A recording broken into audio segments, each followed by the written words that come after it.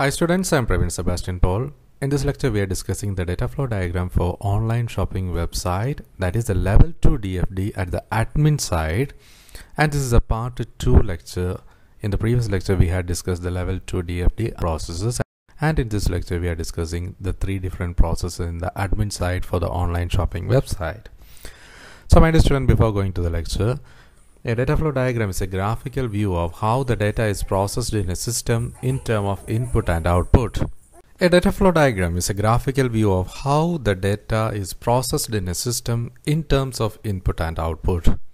The data flow diagram contains some symbols for drawing the data flows between these processes and objects. The four fundamental basic symbols available are data flow, process, entity, and data store. A data flow are pipelines through the packet of information flow, and these data flows are represented by a line with an arrowhead. The second one is a process or task. These are tasks performed by the system, and the processes are represented by circle or ellipse. Third one is a entity, and the entities are objects of the system. A source or destination data of a system are represented as entities, and these are the endpoints of the system and the entities are represented by rectangular box. The fourth one is a data store is a place where the data is stored. These data stores or databases are represented by two parallel lines. So the four basic symbols available are data flow which is represented by a line with an arrowhead. Second one is a process represented by an ellipse or a circle Third one is the entity which is represented by a rectangular box and fourth one is a data store which is represented by two parallel lines. So my dear student, the previous two lectures we had discussed the data flow diagram for online shopping website. In the zeroth level or level zero data flow diagram of this shopping website, we had discussed two entities that is a website admin and user entity and there is a one process known as online portal process and between these processes and entities the data are flowing in between. And in the level 1 DFD at the admin side we had discussed five independent processes which are login manage category manage item manage order and manage report processes. And in the last lecture that is the lecture number 41 we had discussed the process login and manage a category as level 2 DFDs. In this lecture, we are discussing the level 2 DFD for the process manage item, manage order, and manage reports. So when it comes to the level 2 DFD of manage category, that is the third process.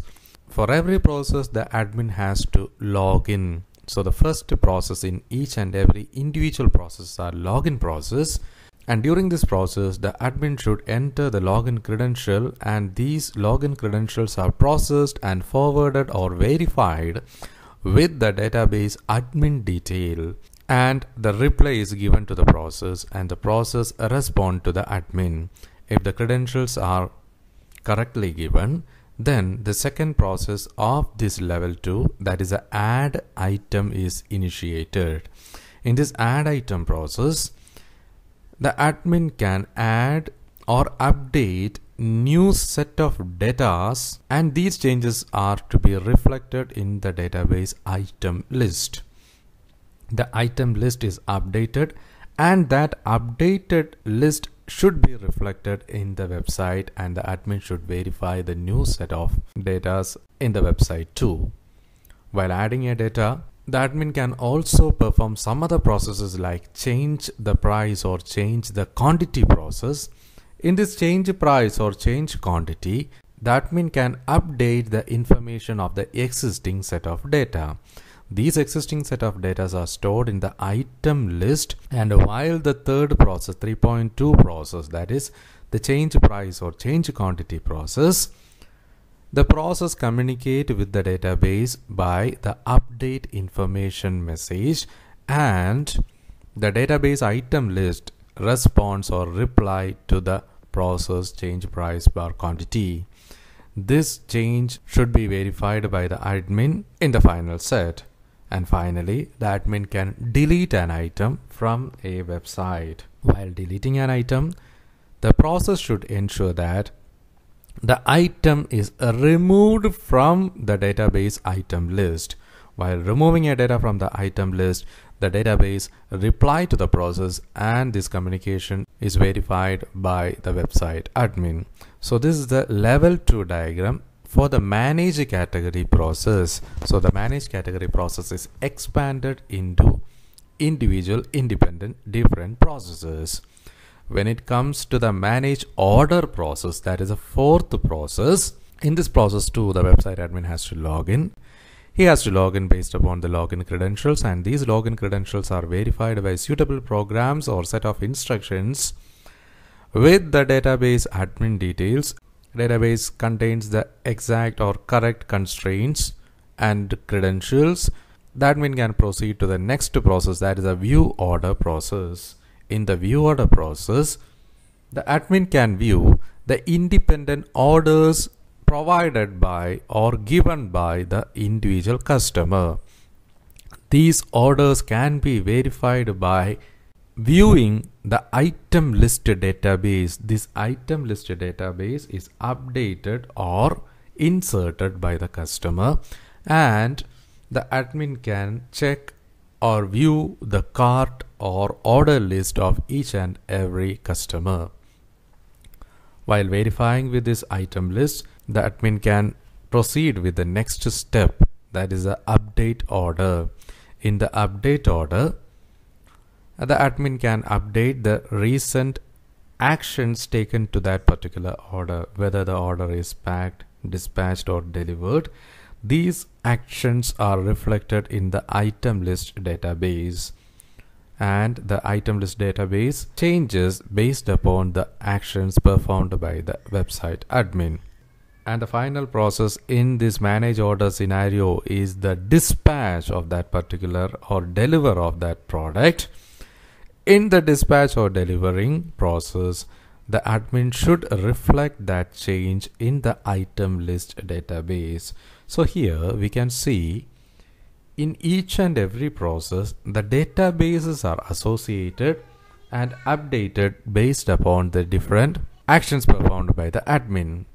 The final second level DFD is the manage report DFD in this example. So in the manage report data flow diagram, the website admin login into the system based upon the exact scenarios as we mentioned in the previous set of lectures and the login credentials are verified with the admin detail database. The second, that is 5.1 process is the user report process.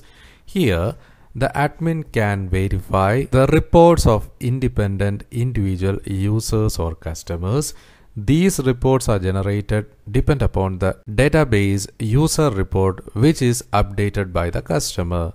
So the customer entered the different data, so the customer data into this user report database and the admin can view this user report database. The 5.2 process, that is the third process, the item report, that is each and individual items available in the website can be viewed, updated and deleted by the admin and these changes are reflected in the item list database. The 5.3 process is the order report. That is the administrator can verify the different orders in process as well as the previous orders. And the final process is the payment report process. And this payment report process is in connection or synchronized with the pay detail database which is a two-side database. That is this database is available to the admin side as well as to the customer side. So this is the second level DFD at the manage report level. So my dear students in this lecture we had discussed the second level DFD for the manage item, manage order and manage report at the admin side of the online website. So dear students hope you had understood this topic. So in the previous two lectures we had discussed the level 0 level 1 and in the last lecture and this lecture we had discussed the level 2 DFDs for the admin side of the online shopping website. So dear students hope you had understood this topic. And dear students kindly go through this assignment question. And the assignment question is draw the level 2 dfd for the atm transaction. So my dear students in the upcoming lecture we will discuss the different level dfds at the user level or the customer level of the online shopping website. So dear students, see you soon. Until then, goodbye. Thank you and all the best.